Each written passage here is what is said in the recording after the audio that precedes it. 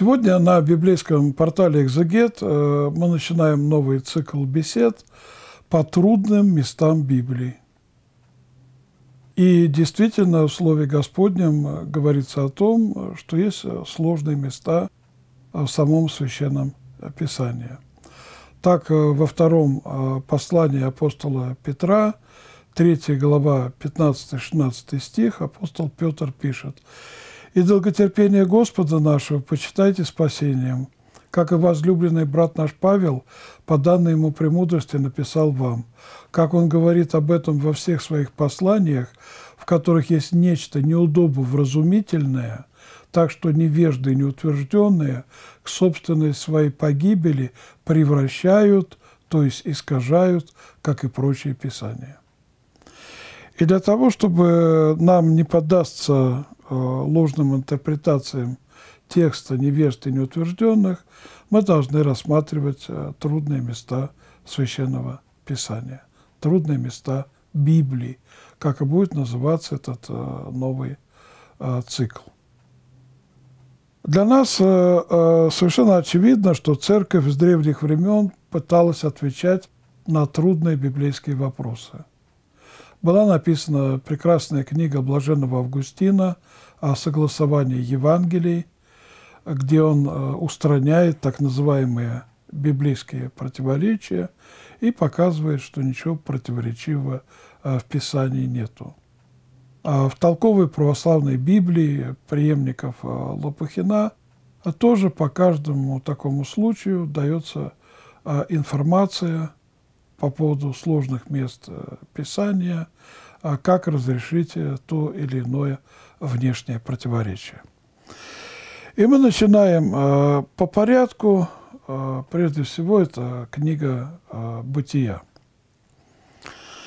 Книга «Бытия» сообщает нам, вначале сотворил Бог небо и землю. И сразу возникает вопрос, как Вселенная могла иметь начало, если современная наука доказала, что энергия вечна. То есть энергия, она никуда не исчезает, она переходит из одного состояния а, в другое. И что можно ответить э, на этот вопрос, если сама Библия говорит, что этот мир имеет начало? Ответ может быть таким. А если бы э, материя существовала бы в пространстве э, вечно, то э, завершились бы все процессы. Например, есть такой процесс, как теплообмен, когда одно тело отдает свое тепло другому телу. И если бы материя существовала в пространстве вечно, то теплообмен был бы завершен. И та температура, которая бы существовала в такой э, вечной э, Вселенной, она бы не позволила бы возникнуть жизни. Следующий момент – это расширение Вселенной. Ученые э, убедились в том, э, в 20 веке, э, что Вселенная расширяется. То есть э, объекты в космосе э, звезды, э, планеты, они как-то вот удаляются друг от друга. Если бы материя существовала бы вечно, то этот процесс был бы завершен. исходя из этого, ученые вынужденно пришли к выводу, что есть начало. Это начало они называют вселенским взрывом, когда материя была настолько сверхплотная, что, можно сказать, ее и не было. То есть какая-то точка а, содержала в себе а, все. Потом происходит взрыв и выделение колоссальной энергии в результате этого взрыва, и начинает распространяться материя в пространстве.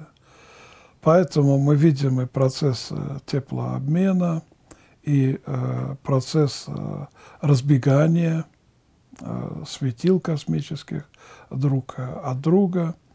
Но э, при всем при этом мы не верим в какую-то точку, которая была такая сверхплотная, что можно сказать, что ничего не было.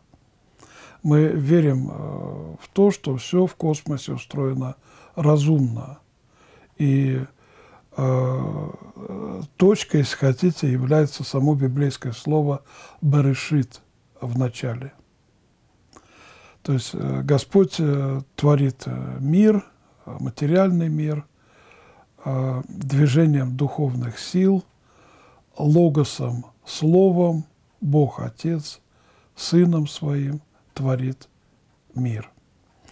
Поэтому подлинное начало – это не доли секунды, там, когда происходит какой-то взрыв, непонятно из чего и как.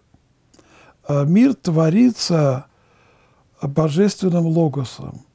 Значит, подлинное начало – это не точка. Подлинное начало всего мироздания – это Христос.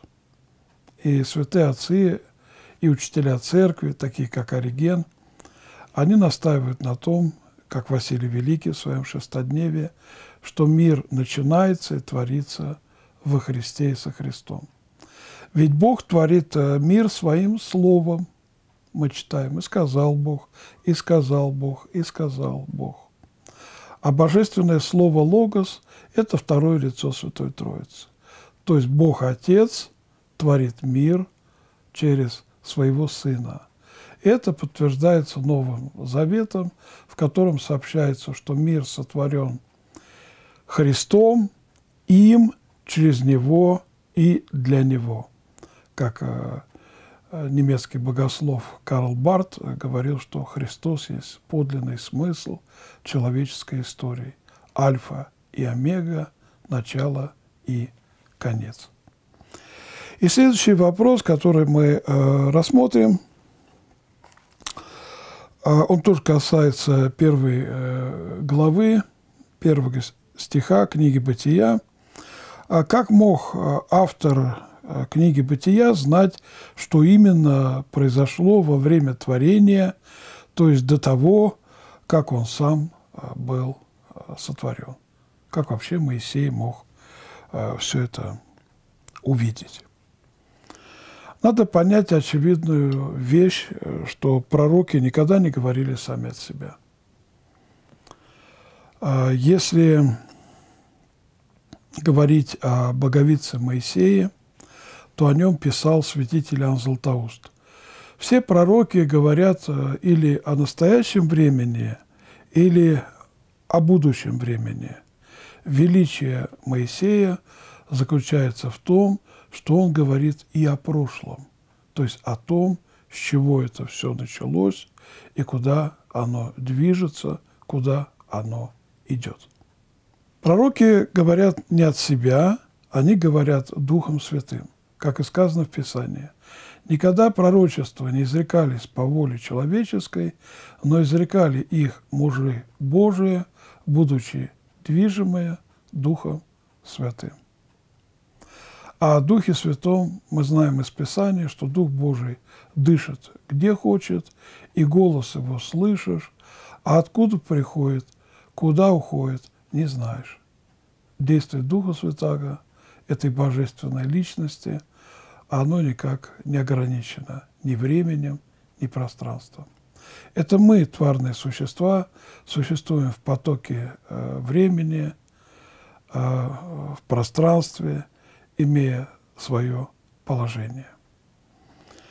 Пророческий дух – это дух, который освещает нам путь. Библия – это книга, которая предоставляет нам возможность увидеть всю картину – бытия всего рода человеческого от его начала и до его конца.